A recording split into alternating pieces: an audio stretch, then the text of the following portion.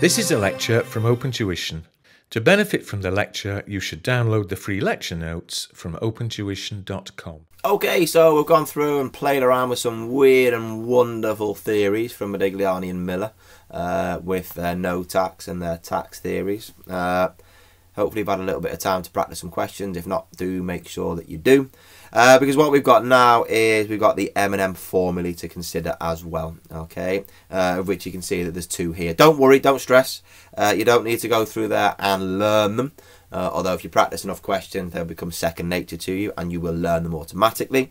Uh, they will be given to you within the formula sheet, okay. Uh, so what you've got there, the first formula wants us to go through there and work out is it the cost of equity and refer to it as KEG. Okay, uh, KEG being the cost of equity for a geared company. Because remember, that's what the theories are doing, isn't it? The theories are looking at what happened to the cost of equity and the weighted average cost of capital as we introduce more and more debt. So we start off with the cost of equity for an ungeared company, which you can see there is KEU. Okay. Uh, and then what we go through and do is as we introduce more debt, the cost of equity should increase, shouldn't it? Okay, as we introduce a little bit more risk into the business with that extra debt, uh, we need to go through there and see by how much that changes the cost of equity. Okay, so you've got your formula there. Uh, KEG is equal to KEU plus the difference between KEU and the cost of debt, KD. Uh, just bear in mind that KD is pre-tax uh, then you multiply it by VD over VE. So just be careful. Uh, VE and VD. They are market values, and you multiply that by one less the rate of corporation tax. Haven't seen any questions that try and confuse you by putting in personal tax as well. Remember, personal tax is ignored.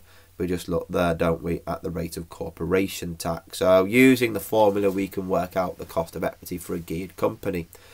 Uh, what we can also then do is think about the weighted average cost of capital. Uh, so the weighted average cost of capital takes the ungeared cost of equity.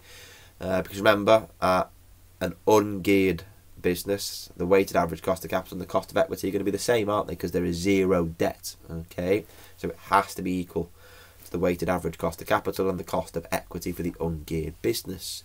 However, as we go through there and introduce more debts, we need to adjust the weighted average cost of capital and we adjust it by this factor here, don't we?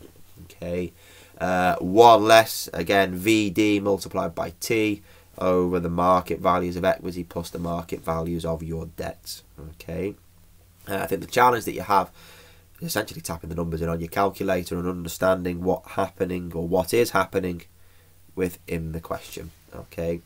So let's go through there and have a look, see what we've got. Uh, the example for the M&M formula says in part A, calculate the cost of equity after raising the debt. Okay, so the cost of equity after raising the debt is that KEG. Uh, so if you've raised debt, it's for a geared company, isn't it? And the cost of equity is KEG. Uh, and it wants us to work out the weighted average cost of capital before and after raising the debt. Okay, uh, so make sure you read it carefully. It wants the WACC twice. Okay, uh, so it says London PLC is an ungeared company.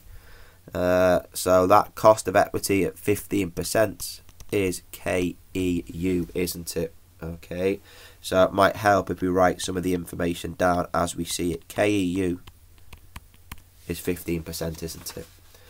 Uh, they propose raising debt at KD, which is their pre-tax.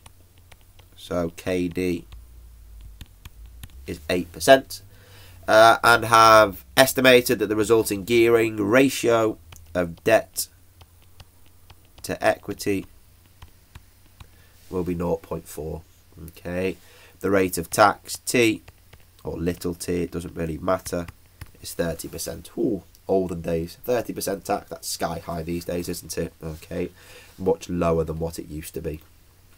Uh, so what have we got? It was the cost of equity after raising the debt. Okay, uh, so if we're going to go through there and think about it in terms of part A, uh, I will write the formula out. There's no need for you to go through there and do so within the exam, just put the numbers in as you meet them.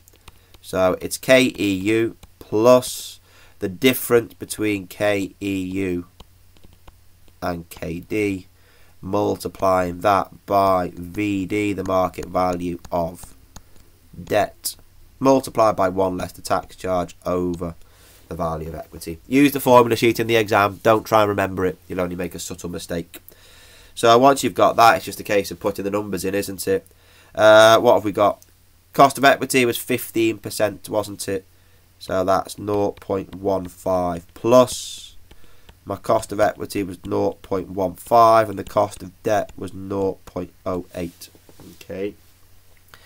Uh, we then multiply that by the value of debt, which is 0.4.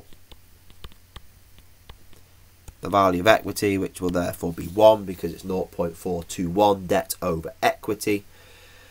And if you go through there and tap that into your calculator, uh, what you will get, again, I'll show you how to go through and work it. I haven't got my calculator with me at this point in time. I suppose I could use my mobile phone, couldn't I? Hopefully my mobile phone is on silent, but there we go. Uh, so what we've got uh, is you need to work out this bit first. Brackets first, isn't it?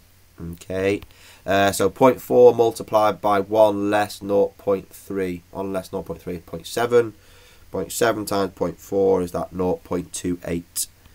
So we have 0.15 plus, that will be, is it 0.07 multiplied by, is it the 0.28. Okay, excellent. Uh, multiply 0.28 by 0.07 uh, so that gives me 0.15 plus is it the 0.0196 so KEG is 0.1696 which is 16.96 percent or to, to you and I 17 percent. Okay excellent. There you go that's part A okay double check that you can do it on your calculator okay? If you can't keep trying okay? Yeah excellent. Uh, remember brackets over division multiplication addition subtraction. I think that was something that i learned a long way way back when i was at school okay? Do the brackets first do the division uh, multiplication then addition subtraction okay? Excellent. There we go. Uh, part b is to then go through and work out the weighted average cost of capital. Uh, before and after so if we're going through there and thinking about it before, well that's nice and straightforward because the weighted average cost of capital will be equal to the cost of equity for the ungeared company, which is at 15%, isn't it? Okay. Uh, you could go through and put it in as the formula if you so wish, because before uh, before raising any debt, then the value of debt is zero. So what happens here is if the value of debt is 0, then that part of the formula collapses to 0. 1 less 0 is 1. 1 multiplied by the cost of equity for the ungeared company is the cost of equity for the ungeared company. Does that make sense? No? Yes, it does. Excellent. Good, good. Uh, the issue that you've then got is looking at what happens afterwards. Uh, so what you've got there afterwards, the weighted average cost of capital is equal to the cost of equity for the ungeared company multiplied by 1 less is it VD multiplied by T over the value of equity. Okay. Oh, careful. Uh, I, I went slightly off track there, didn't I? And decided to do it without the formula sheet. Oh, good demonstration there to make sure that you always use that formula sheet. Okay.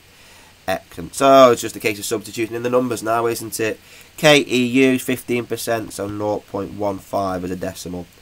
Uh, you then have, is it 1 less?